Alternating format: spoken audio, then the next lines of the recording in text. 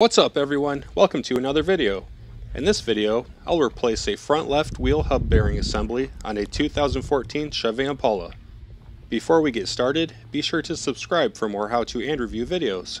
Now, let's get started. First, chalk the opposite wheel. I'm doing the front left, so I'll be chalking the rear right. Then, break the lug nuts loose. Jack up the vehicle and support it with a jack stand. I use two, because why not? Remove the lug nuts, and remove the wheel. Now it's time to get to work. First, remove the brake caliper bracket. There are two mounting bolts, which I already partially removed. One, they won't be sticking halfway out. And two, they require a 21 millimeter socket. After it is removed, suspend it with a coat hanger or something similar, so there's no tension on the brake line. Do not just let it hang on the brake line, that'll damage it and release the brake line from this bracket. The grommet just slides up and out. Next, remove the screw that attaches the rotor to the hub assembly. It requires a T30 Torx bit. Almost, almost there, a little more, and it's out. With the screw removed, pull off the brake rotor. Mine was seized on and needed a little help. Get off of my car! Next, remove the wheel speed sensor. This requires a 10mm socket. First, remove the bolt. Then pull the wired sensor out and move it out of the way. Out of the way! Next up, loosen the axle nut to release the wheel bearing from the CV axle shaft. I believe it requires a 34mm socket, but I used a 1 and 1 quarter inch socket because that's what I have. Once loosened, give it a whack to break it loose. The axle should now float inside the hub assembly. Now it's time to remove the wheel bearing. There are three bolts that must be removed from the back. One, two, and three. And back around to the outside. And here they are from the front. The hub assembly has holes tapped all the way through, and the bolts go all the way through it. Use an 18mm socket to remove the bolt toward the front of the car. This is bolt 1 of 3. Then remove the bolt towards the back of the car. Although the bolt was completely unthreaded, I could not get it out because it was trapped by the CV axle. This is bolt 2 of 3. And there is not enough room to access the top bolt, bolt 3 of 3. We need to release the steering knuckle from the strut. There are two bolts, which require an 18mm socket and an 18mm wrench. Bolt number 1 and bolt number 2. Working on the top bolt. Loosen the nut. Tap it out. And it's out of there. Working on the bottom bolt. Loosen the nut. Tap it out. And zoink! It's out. With the bolts removed, separate the steering knuckle from the strut. Now there is room to access the last bolt, using the 18mm socket. Freedom! And there is also room to remove that second bolt.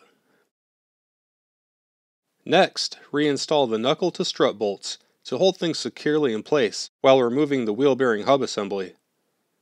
My vehicles see snow and salt all winter, and the wheel bearings experience corrosion and have never come out easily for me.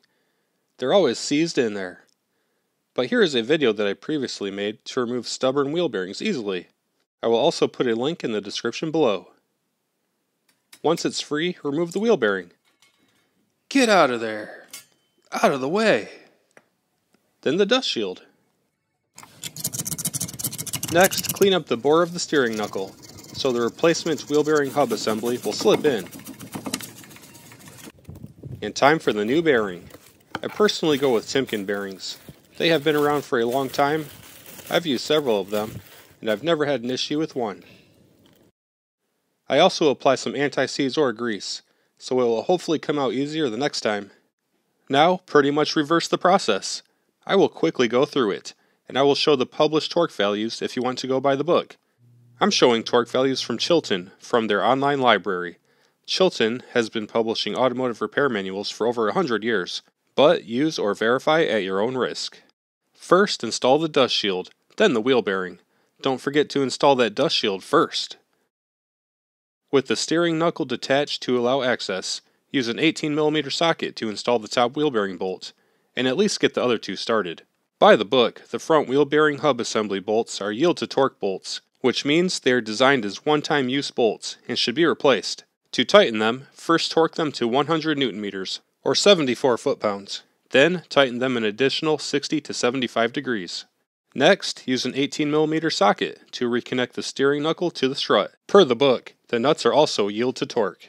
First tighten them to 85 newton meters, or 63 foot-pounds. Then tighten them an additional 60 to 75 degrees. With the steering knuckle secure, finish tightening up the wheel bearing hub assembly bolts, and you can still push the axle in a little to get additional clearance for your tool. Then use a 10mm socket to reinstall the wheel speed sensor. No torque is specified. Next, I installed the axle nut. Note that this is also specified as a yield to torque nut. A new nut is required. First, torque it to 150 newton meters, or 111 foot-pounds.